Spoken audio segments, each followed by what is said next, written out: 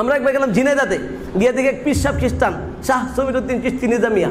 আমরা কয়েকদিন আগে গেলাম এই একবার সম্প্রীতি এই মাসের শুরুর দিকে আমরা গিয়েছিলাম ফুলপুর আপনার কুড়িগ্রাম জেলার অলিপুর থানা এবং ফুলবাড়ি ফুলপুর থানা।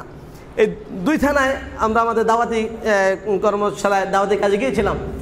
ফুলপুর থানাতে একবার ইন্ডিয়া বর্ডারের সাথে আনন্দবাজার এলাকা। ওখানের পুরা গ্রামের মধ্যে, পুরা একটা এলাকায় চারশোর বেশি মুসলমান খ্রিস্টান।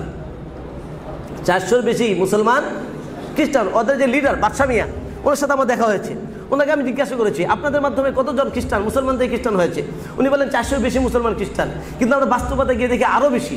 একজন ইমাম পাইলাম যে নাকি আরও দুই বছর আগ পর্যন্ত সে মসজিদে ইমামতি করতো। আজকে সে ক্লিং শেফ আজকে খ্রিস্ট ধর্ম প্রচার করে। এভাবে তারা, আমি খুব কীভাবে দাওয়াত দেয়? এই সমস্ত মুসলমানদেরকে ধোকা দেওয়ার জন্য কোরআনে কারিমের অপব্যাখ্যা করে খ্রিস্টানরা বিভিন্নভাবে মুসলমানদের ইমান হরণ করছে। এ দেখুন, বইটার নাম হলো তরিকুল জান্নাতিল মুজদিবিন। গুনাহগারদের জন্য বেহেস্তে যাওয়ার পথ। এই বইটা দেখলে কে বলবে? এটা কোনো খ্রিস্টানদের বই? প্রত্যেক পৃষ্ঠে পৃষ্ঠে কোরআনের আয়াত। বইটার নাম হলো বাণী এবং বাণীবাহক। এই বইটা দেখলে কে বলবে? এটা কোনো খ্রিস্টানদের বই? মনে হচ্ছে এক পৃষ্ঠা মক্কা মুকারামার ছবি আর এক পৃষ্ঠা মদিনা মনোয়ারার ছবি। বইটা শুরু করেছে সুরা ফাতেহা দিয়ে, শেষ করেছে খ্রিস্টান ধর্মের দাওয়াত দিয়ে। বলে ইহদিনা সিরাতুল মুস্তাকিম। সিরাতুল মুস্তাকিম কোনটা? বলে খ্রিস্টান ধর্ম। বলে আনামতা আলাইহিম। বলে যাদের উপর নিয়ামত দান করা হয়েছে। কাদের উপর নিয়ামত দান করা হয়েছে? বলে খ্রিস্টানদের উপর। তো পূর্ববর্তী তাদের উপর। এই জন্য তারাই হলো যারা নিয়ামত প্রাপ্ত তাদেরটা মানতে হবে। নওয়াজবিল্লাহ এই দেখেন, এই বইটা দেখলে কে বলবে? কোনো খ্রিস্টানদের বই। বইটার নাম হলো ইসমাইলের ইমান মসজিদ নববীর ছবি। এটাও খ্রিস্টানদের বই। বইয়ের নাম হলো তরিকুল জান আর তারিক ইলাল জান্না বিনুরিল কোরআন। কোরআনের আলোকে বেহেস্তে যাওয়ার পথ। এই বইটা দেখলে কেউ বলবে কোনো খ্রিস্টানদের বই? দেখতে মনে হয় মুসলমানদের। আসলে বইটা খ্রিস্টানদের। আমরা ঝিনাইদাতে গিয়েছিলাম পীর সাহেব খ্রিস্টান। পীর থাকা অবস্থায় তার বই ছিল। এটা হলো আল হাদিস হাদিস বইয়ের নাম। এই বইটা দেখলে কেউ বলবে এটা কোনো খ্রিস্টানদের বই? মনে হয় যে মুসলমানদের। আসলে বইটা খ্রিস্টানদের। বইটার নাম হলো আনুরুল কোরআন কোরআনের আলো। প্রত্যেক পৃষ্ঠে পৃষ্ঠে কোরআনের আয়াত। বইটা দেখলে মনে হচ্ছে কোনো মুসলমানের বই। আসলে বইটা কাদের? খ্রিস্টান আমার কাছে আরও অনেক বই আছে। আমি মাত্র মানে, দেখানোর জন্য যত বাস্তব অবস্থাটা দেখানোর জন্য দু একটি বললাম। এইভাবে মানুষকে খ্রিস্টান বানাচ্ছে, এইভাবে মানুষকে বিভ্রান্ত করছে। ওই সমস্ত এলাকায় তারা কোরআনে কারিমের অপব্যাখ্যা করে, তারা ওয়াজ মাহফিলের মাধ্যমে তারা ধর্ম প্রচার করে।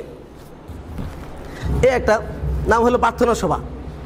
প্রার্থনা সভায় লেখা আছে উক্ত সভায় আন্তর্জাতিক খ্যাতি সম্পন্ন বক্তাগণ প্রভুর সুসমাচার, প্রচার ও রোগীদের আরোগ্যতার জন্য মুক্তি কামনা করবেন। তাদের কৌশল হলো, যখন নাকি মানুষজনকে জমা করা হয়, জমা করার পরে তাদেরকে দাওয়াত দেয়।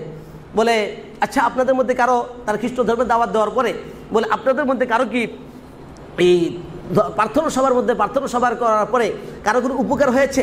ওদের পিছন থেকে কিছু দালাল থাকে, তারা হাত উঠায়। বলে, আসুন। যখন মঞ্চে আসে, বলে, আপনার কি হয়েছিল?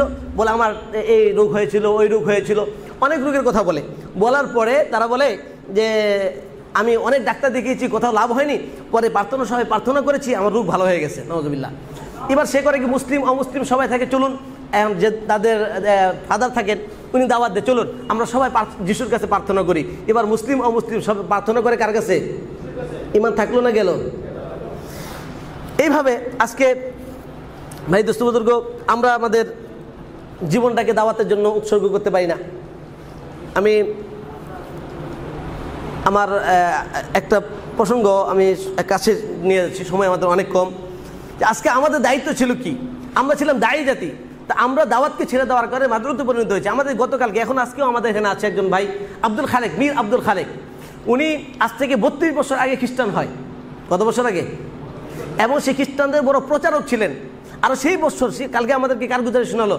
সে নিজে সেই দুর্গম এলাকায় গিয়ে, রংপুর ওই সমস্ত এলাকায় গিয়ে কয়েক শত, কয়েক হাজার মানুষকে সে খ্রিস্টান বানিয়েছে। সর্বশেষ জামালপুর জেলার সে দায়িত্বশীল ছিল। আমরা গত আঠারো তারিখে তার সাথে আমার ব্যক্তিগতভাবে দুই হাজার তিন সাল থেকে দাওয়াতি কার্যক্রম চলতেছিল। আলহামদুলিল্লাহ গত আঠারো তারিখে, এই মাসের আঠারো তারিখে আমরা জামালপুর গিয়েছিলাম। ওখানে যাওয়ার পর আলহামদুলিল্লাহ তাকে দাওয়াত দেওয়ার পরে আলহামদুলিল্লাহ সে আবার তৌবা করেছে এবং আবার মুসলমান হয়েছে, আলহামদুলিল্লাহ।